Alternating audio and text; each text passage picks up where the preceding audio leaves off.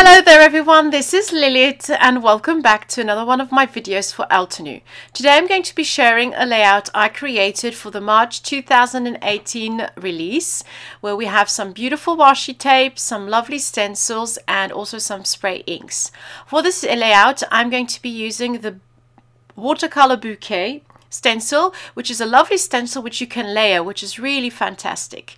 I'm going to start off with a green color which is a minty mint. It's the lighter color here and I'm just going to color the leaves in this color. I'm masking off the sides just to make sure that I don't get any of that color onto my paper. Then I'm going to use the color Dewdrop to, for the flowers and I'm just working my way up. So I'm just going to add color. I'm doing this really roughly and gently at the same time. And I'm just going to place my stencil in a different direction and mask off certain parts so that I get a kind of overlapping effect. So here you can see me placing the stencil and where you can see the blue pop out, I'm just going to add a little bit of washi tape there so that I don't uh, go over the same spots with the same color. So I'm just going to continue doing this with my first layer.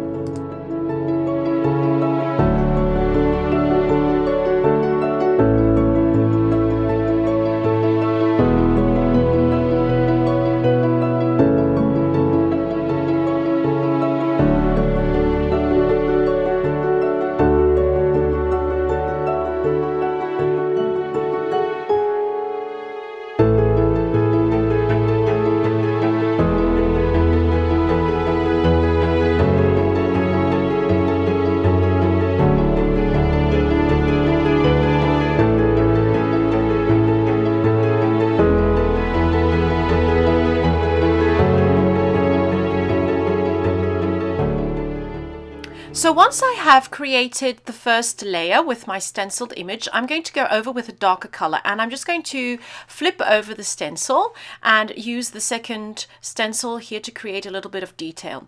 For the green, I'm using Sweet Leaf and for the blue, which is the darker shade after Dewdrop, it is Aqualicious. And as you can see, just by adding that little bit of extra color, you add lots of depth.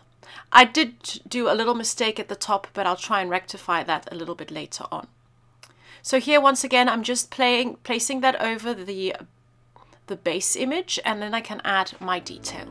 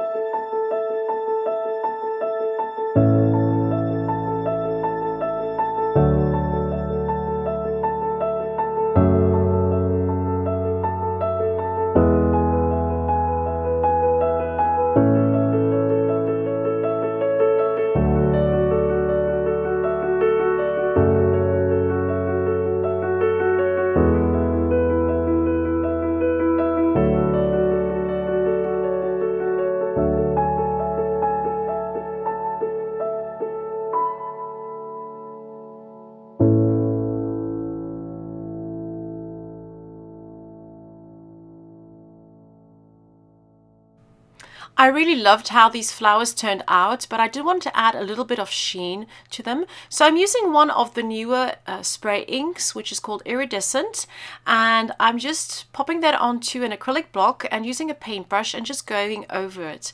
And this just gives a lovely shine and sparkle to the flowers. This is a really easy way just to add a bit of interest and spruce up a card or a layout.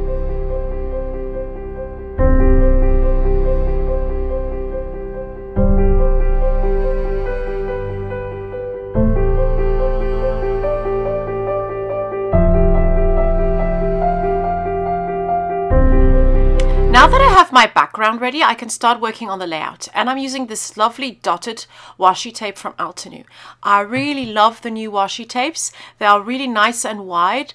And this gives you so many possibilities if you want to just revamp maybe a frame or even do some artwork on a wall. These are fantastic. I love the size of them and they are really good quality. I had this really funky cutout just lying around this does come from some Altenew uh, pattern paper from the Reflection Scrapbook collection. And I just cut out this really funky kind of leaf shape and I thought I'd use it on here to mat my photo onto something. I also took a couple of acetate um, die cuts from the Reflection Scrapbook collection. And here I'm just playing around with alphabets just to create the title. In the end, I thought I'd create my own title using the bold alphabet set and I created the word reading and I'm just going to cut that um, out of some lovely paper. I picked tones which were very similar to the tones I used on the layout. So from this lovely rainbow paper I cut out the blue and the green strips and here I'm just creating my title. I want, really wanted to use the whole word reading, but in the end, it's just a little bit too large. And so I just adapted my title and made it read.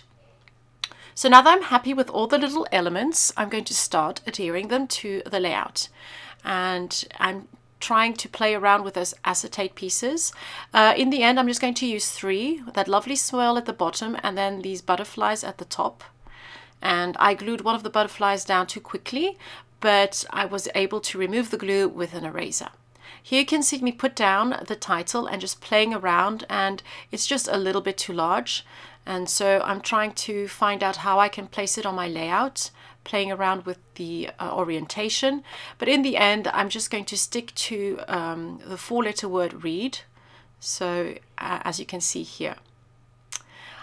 Now, once I'm happy with how that is, I drew a border around the letters just to make them pop out and I printed out a little bit of journaling on my printer. I'm going to add a couple of enamel dots from uh, the Our Family scrapbook collection. Uh, and there you have it. That's almost finished. Just a couple of finishing touches, popping the, the title onto some foam dots to create some dimension. And that's the finished layout. I hope you enjoyed this little video and I hope you're enjoying our blog hop and the new release at Altenew. Can't wait to see you very soon with more inspiration for Altenew. Thank you so much for joining me and I'll see you very soon. Bye bye.